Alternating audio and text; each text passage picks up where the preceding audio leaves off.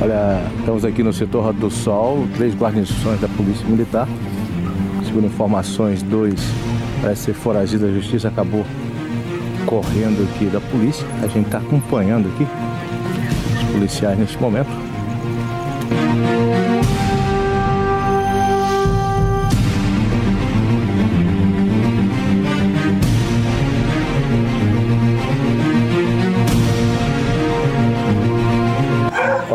Continuando aqui no setor Roda do Sol, na rua Beira Rio, ó, encontramos mancha de sangue aqui. Segundo informações, tem uma, um indivíduo baleado, dá pra você marca de sangue aqui, olha. Começamos a achar. Polícia, os policiais se encontram lá na frente e foi localizada a marca de sangue aqui, ó. Pra gente acompanhar os policiais nós saber mais informações. Vamos acompanhar aqui, ver se consegue localizar esse indivíduo.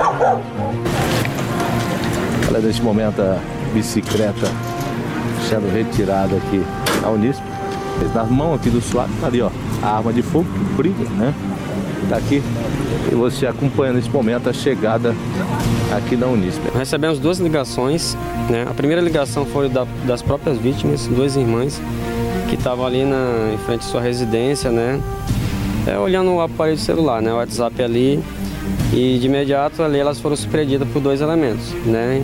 Um deles estava de posse de uma arma, né, anunciou o roubo e conseguiu subtrair delas ali é, bolsa, né, aparelhos celulares, dinheiro e documentos pessoais. Né? Elas ficaram né, assustadas e vindo eles embora e começaram a desespero e então logo um colega lá elas conseguiram é, acionar a polícia militar. Agora começou também uma perseguição atrás desses elementos aí e conseguiram até recuperar alguns objetos que foram roubados. Exatamente. É, elas viram que os, o, os elementos eles fugiram ali sentido faculdade de Faema, né, ali pela Machadinho. E lá em frente à faculdade, lá tinham dois policiais militares que foram levar seus parentes até aquele local lá. E viram dois elementos, né, numa bicicleta cor branca lá, é, mexendo numa bolsa, bolsa feminina. Acharam muito estranha aquela, aquela atitude. Então eles foram abordá-lo. Né? Quando eu falei sobre abordar, eles saíram né, pedalando rapidamente lá e até que entrou ali naquelas imediações do bairro ali, naquele lugar meio ermo lá. Né? E é um deles, que estava armado, fez menção de disparar contra a polícia militar, sacou a arma. Os policiais militares é, tão logo responderam, né? É, entretanto, eles, com receio, largaram todos os objetos, né? Deixaram a bicicleta para trás, deixaram os, os, objetos subtraídos e adentraram aquela mata ali. Tudo bem, as vítimas já estão aqui na Unício. A partir de agora, o que será feito aí? É, infelizmente, nós, várias guarnições da Polícia Militar, fizemos buscas lá no local, entramos naquele matagal, ali ao lado, mas infelizmente não conseguimos localizar nenhum dos elementos. Né? Entramos em contato com as vítimas posteriormente e agora elas estão aqui apresentadas na delegacia, né? Vamos efetuar o registro com alguns dos objetos recuperados e, e elas aí apresentadas ao delegado de plantão. Muito bem, na sua guarnição quem está trabalhando? Hoje foram várias guarnições, né? Certo. Foi o Cabo Ribeiro, a guarnição do, do M. Soares, do Soares, né? A minha guarnição, né, e a guarnição do Cabo Rodrigues, foram várias guarnições empenhadas em tentar é, desvendar esse crime. Olha, neste momento a guarnição comandada aí pelo Cabo Creildo, também é interno, e o seu companheiro acabou localizando o, o outro, um dos, dos rapazes suspeito aí de ter cometido o roubo ali no setor 6 de. Ele está sendo trazido aqui para a Unisp e a gente vai acompanhar a guarnição aí do reforço, trazendo aí esse rapaz. Agora essa bike branca aqui é sua, né? É minha. Você comprou ou produziu? Comprei, comprei. O outro rapaz estava com você, está embreado no mapa? Sei não. Você já tem passagem pela polícia? Não. Primeira vez que você passou na delegacia? Não, tenho quando era de menor. Quando era menor, no CZE? Nunca fui preso no CZE. Quantos anos você tem agora? 18. Você acha que vai acontecer agora? Não sei não, tem pra puxar, nós vamos puxar. Então você não tem nada a ver com esse roubo lá do setor 5? Tem, foi eu que roubei sim. Ah, você fez parte. Aquela arma caseira, ela é sua ou do seu parceiro? É, não sei não. O restante do dinheiro ficou com o seu parceiro das vítimas? Não sei. Você acha que agora você vai para o presídio? Onde que você acha? Para onde que eu for, vou ir. Vai pagar tudo? Vou pagar. Tem que pagar. Não, cara? Não sei não. Arrumar um trabalho, ser uma pessoa Sei. decente? Não sei. Como é que foi a situação? Chegaram armados, né? Chegaram armados, aí nós estávamos sentados lá e só vi um susto mesmo. Primeira vez que passa uma situação dessa aí? Claro, primeira vez. O que, que eles chegam a levar o quê de você? Meu celular, minha bolsa, meu dinheiro, tudo. O meu também. O seu também? Dois celulares. Você também um celular. Dois celulares. Um Samsung e um K10. Agora eles mostraram uma arma, chegaram, apoiaram Ah, enfiaram uma arma na minha barriga lá, eu dei até um pulo, é doida. E que não chegaram a disparar contra você. Disse que não tinha nem de munição, se eu soubesse já não estava dele, mas vai, né? Agora como é que vocês conseguiram é, avisar a polícia? Peguei o telefone do rapaz que mora lá com a gente, aí eu liguei. Mas ah, graças a Deus que quem pegou mesmo foi dois policiais que viu eles passando com a bolsa de mulher. E aí suspeitaram, foram atrás. Na hora que eu liguei já, já tava atrás, entendeu? Já tinham pegado.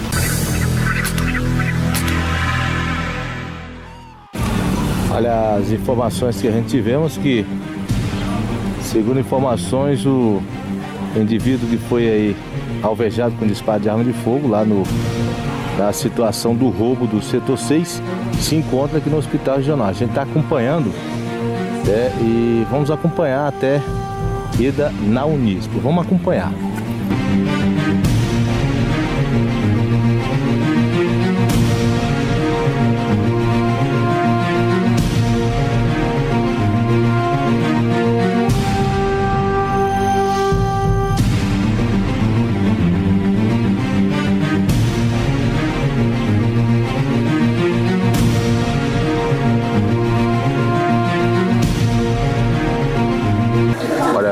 Momento, o, o adolescente que foi é, praticar o roubo, praticou o roubo, agora acaba de sair aqui do hospital, sendo escoltado pela polícia.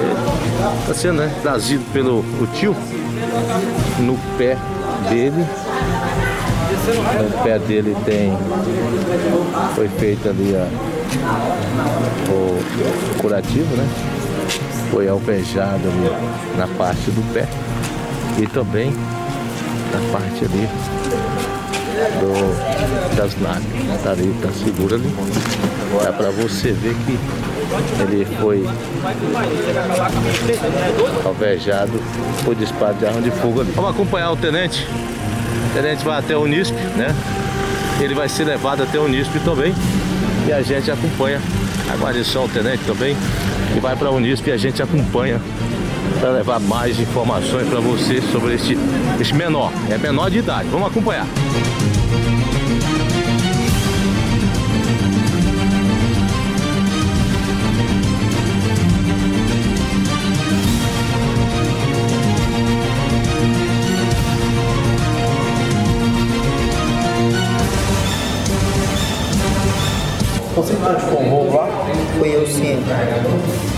O rapaz que tá contigo que fez participação também? Fez não.